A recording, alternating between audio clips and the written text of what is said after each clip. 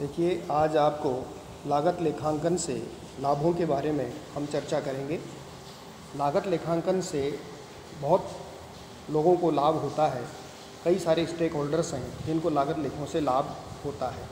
इसमें मुख्य रूप से जैसे प्रबंधक हैं, कर्मचारी हैं, सरकार है जन साधारण है, इन कई लोगों को इससे बहुत लाभ होते हैं। हम एक एक करके इनका अध्ययन करेंगे। सबसे पहले हम देखते हैं प्रबंधकों को लाभ। कि प्रबंधकों को इससे क्या क्या लाभ होते हैं। प्रबंधकों को लाभों में हम बता सकते हैं कि लागत लेखांकन जो है, वो प्रबंधकों का एक आवश्यक उपकरण माना गया है।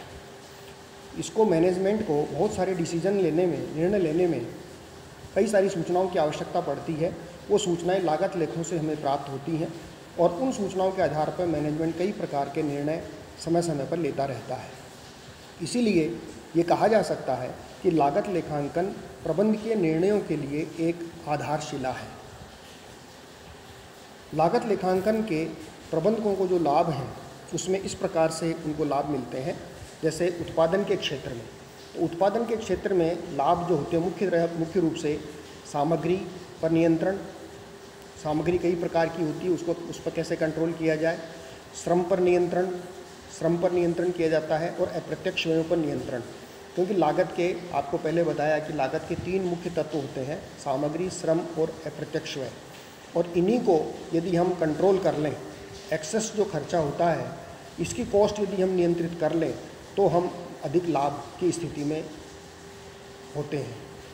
इसी प्रकार से बहुत सारी ऐसी योजनाएँ होती हैं, ऐसे प्रक्रिया होती है, ऐसे कार्य होते हैं, जिनसे व्यवसाय को लाभ नहीं हो रहा है, अलाभप्रद होती हैं। और लाभप्रद जिनमें ऐसी है जिसमें कम लाभ होता है तो यदि हम लागत लेके रखेंगे तो हमें इन चीज़ों की जानकारी मिल जाती है। विशेष रूप से जब हम प्रोसेस कॉस्टिंग अपनाते हैं, प्रक्रिया लागत की विधि अपनाते हैं, उसके आधार पर हमको ये पता चल जाता है कि किस प्रोसेस से लाभ हो रहा है और किस प्रोसेस से लाभ नहीं हो रहा है।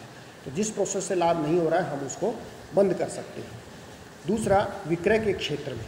तो विक्रय के क्षेत्र में हमें क्या लाभ मिलता है? जैसे मूल्य निर्धारण में सहायक टेंडर मूल्य निर्धारण में सहायक और विक्रय संबंधी अन्य निर्णयों में सहायक। क्योंकि जब हम माल को बेचते हैं, सेल करते हैं तो उसका हमें विक्रय मूल्य निर्धारित करना पड़ता है। और विक्रय मूल्य का निर्धारण करने के लिए उसकी हम विक्रय मूल्य का फॉर्मूला क्या है? Cost plus profit. तो जब तक हमें कॉस्ट पता नहीं होगी किसी प्रोडक्ट की, कि हमारी लागत कितनी आई, तब तक हम उसमें प्रॉफिट जोड़ के हम उसकी सेलिंग प्राइस या उसकी टेंडर प्राइस हम निर्धारित नहीं कर सकते। तो इसलिए भी हमें लागत लेखों की आवश्यकता होती है और इनके माध्यम से ही हम सही प्रकार का विक्रय मूल्य हम इसमें तय जो है वो कर सकते हैं। फिर इसमें आता है लाभ हानि के संबंध में। तो लाभ हानि के संबंध में अलग अलग जो है वो विभागों में होने वाले लाभों का हमें ज्ञान हो जाता है। व्यवसाय में कई प्रकार के विभाग होते हैं। हर विभाग का लाभ हम अलग अलग याद कर सकते हैं। तो जिस विभाग में लाभ नहीं हो रहा उसको बंद किया जा सकता है या उसको और इम्प्रूव करने के लिए कार्य किए जा सकते हैं। एक ही विभाग की विभिन्न वस्तुओं से मिलने वाले लाभ का ज्ञान। व्यवसाय में एक ही विभाग में कई सारी वस्तुओं का कार्य जो है वो किया जाता है। तो उसमें हमें यदि अलग अलग वस्तुओं के बारे में हमें ये पता चले कि इसका इतना प्रॉफिट है, इसका इतना, इसमें इतनी हानि हो रही है तो उस हिसाब से हम निर्णय सही समय पर उसमें ले सकते हैं। तीसरा, उत्पादन से होने वाले कुल लाभ का ज्ञान। व्यवसाय के अंतर्गत जो हम उत्पादन करते हैं उन उत, उस उत्पादन में कई प्रकार के जो है वो हम याद करते हैं जिसमें टोटल प्रॉफिट कितना हमें हुआ है उसकी जानकारी हम इसके अंदर जो है वो प्राप्त आसानी से हम कर सकते हैं उत्पादन के संबंध। जैसे मान लीजिए कोई ब्याज कितना है लाभांश कितना है जिस उत्पादन के संबंध में ऐसी चीज़ें नहीं हैं उसको हम इग्नोर कर सकते हैं। इसी प्रकार फिर अन्य सामान्य निर्णय लेने में सहायक। तो अन्य सामान्य निर्णय लेने में सहायक इसमें एक तो आता है नए प्लांट के क्रय संबंधी निर्णय। व्यवसाय में नए प्लांट का जब क्रय किया जाता है तो उसके आधार पर हम ये ज्ञात करते हैं कि पुराने प्लांट को ही चालू रखा जाए या नया प्लांट स्थापित किया जाए। तो ये निर्णय लेने में भी लागत लेखांकन सहायता करता है। इसी प्रकार से नए प्लांट की स्थापना के लिए स्थान का चयन। तो नया प्लांट हम जो स्थापित करते हैं तो उसकी जगह, एक निश्चित जगह होना आवश्यक है।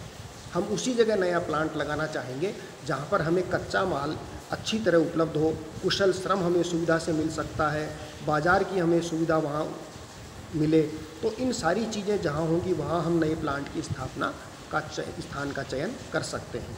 इसी प्रकार वैकल्पिक स्थिति में निर्णय लेने में सहायक।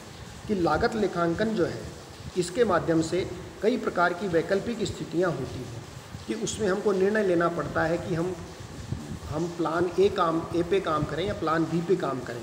जैसे आपको कोई वस्तु कारखाने में बनवाना लाभप्रद होगा या उसको बाज़ार से बना बनाया खरीदना लाभप्रद होगा।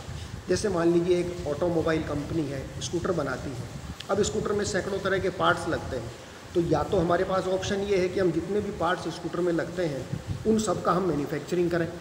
और या हम उसमें कुछ पार्ट की तो हम मैन्युफैक्चरिंग कर लें, जो हम कर सकते हैं, और कुछ पार्ट्स हम बने बनाए बाज़ार से परचेज कर लें। तो किसमें हमको फ़ायदा है? उस चीज़ के आधार पर हम निर्णय जो है वो आसानी से ले सकते हैं। तो ये उत्पादन के क्षेत्र में हमें इस प्रकार के लाभ जो है वो मिलते हैं। इसी प्रकार से ये सारे प्रबंधकों से संबंधित लाभ हैं, जो प्रबंधकों को समय समय पर कई प्रकार के निर्णय लेने में हेल्पफुल होते हैं। अब आता है कर्मचारियों को लाभ। कर्मचारियों को लागत लेखांकन से क्या लाभ होता है? तो कर्मचारियों को बेसिकली प्रत्यक्ष और अप्रत्यक्ष रूप से कई प्रकार के लाभ जो है वो हमें देखने को मिलते हैं। इसमें रुचि के अनुसार कार्य का विभाजन कि प्रबंध के लागत लेखांकन में कर्मचारियों की जो नियुक्ति में चयन की जो विधि है, वो उपयुक्त विधि का हम चयन करके और कर्मचारियों की कार्यक्षमता में वृद्धि कर सकते हैं। इसी प्रकार उचित उचित मजदूरी एवं बोनस की लागत लेखों से हमें ये प्रमाणित कर दिया जाता है कि उस मजदूरी को, उस मजदूर को या उस कर्मचारी को यदि हम ज़्यादा मजदूरी देंगे या ज़्यादा बोनस देंगे तो हमें आउटपुट कितना मिलेगा, उसकी एफिशिएंसी कितनी आ रही है। उसका निर्णय हम इसमें ले सकते हैं। इसी प्रकार से कार्य करने के लिए उत्तम वातावरण, कि कार्य करने के लिए उत्तम वातावरण हमें जो उस उस स्थिति के अंतर्गत हमें अवेलेबल होता है। लागत लेखांकन के माध्यम से यदि हमें ये लगता है कि हमारी कॉस्ट कम आ रही है और कर्मचारियों की एफिशिएंसी बढ़ानी है तो हम वातावरण इस प्रकार का निर्मित कर सकते हैं। उसका कॉस्ट बेनिफिट एनालिसिस करके हम इसको इम्प्लाई कर सकते हैं। इसी तरह से फिर आता है बाह्य संस्थाओं को लाभ। क्योंकि एक व्यवसाय में खाली प्रबंधक, कर्मचारी यही नहीं होते, बल्कि आउट बाहर के लोग भी इसके अंतर्गत जो है वो स्टेक होल्डर्स होते हैं। तो उनको भी क्या लाभ इसके अंतर्गत मिलते हैं? जैसे विनियोजकों को लाभ, जो इन्वेस्टर्स हैं, संस्था में जो पैसा लगाते हैं, उनकी, उनके एक प्रकार से उनकी स्थिति में उनका आत्मनिरीक्षण करने में उनको सहायता मिलती है। क्योंकि अलाभकारी जो योजनाएँ हैं उनसे बचा जा सकता है और लाभदायक योजनाओं को हम काम में ले सकते हैं। इससे संस्था का निश्चित रूप से कायाकल्प हो सकता है संस्था के लाभों में उत्तरोत्तर वृद्धि हो सकती है। फिर आता है उपभोक्ताओं को लाभ कि जो अल्टीमेटली जो उपभोक्ता हैं, जिनके लिए हम वस्तुओं का निर्माण करते हैं, उत्पादन करते हैं, उनको इससे क्या लाभ होगा? तो लागत लेखांकन के माध्यम से, क्योंकि जब लागत लेखांकन आप रखेंगे तो निश्चित रूप से हमारा उद्देश्य ये होता है कि हम लागत को कम से कम करें। और लागत को यदि आप कम करेंगे प्रॉफिट आपको उतना ही रखना है। लेकिन लागत यदि आप कम रखेंगे तो निश्चित रूप से उस वस्तु की विक्रय मूल्य भी कम होगा कंपटीशन के अंतर्गत इसलिए यदि लागत कम होगी तो निश्चित रूप से व्यवसाय का विक्रय मूल्य, उस वस्तु का विक्रय मूल्य कम होगा। और विक्रय मूल्य कम होगा तो उपभोक्ता को वही वस्तु जो है, वो सस्ती दरों पर जो है, वो प्राप्त हो सकती है। सरकार को लाभ सरकार को इससे क्या लाभ हो सकता है?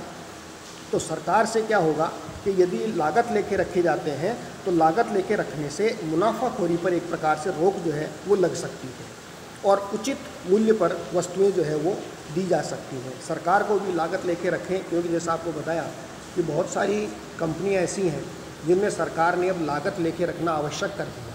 तो लागत लेके आवश्यक रूप से यदि आप रखेंगे तो निश्चित रूप से उससे सरकार को भी ये पता रहेगा कि टैक्स का रेवेन्यू कलेक्ट करने में इसमें कई प्रकार से सरकार को भी सहायता प्राप्त होती है। तो इस प्रकार से हम कह सकते हैं कि लागत लेखांकन से सभी स्टेक होल्डर्स को, चाहे प्रबंधक हो, चाहे कर्मचारी हो, चाहे सरकार हो, चाहे उपभोक्ता हो, चाहे विनियोजक हो, इन सभी को प्रत्यक्ष या अप्रत्यक्ष रूप से कई प्रकार के लाभ प्राप्त होते हैं।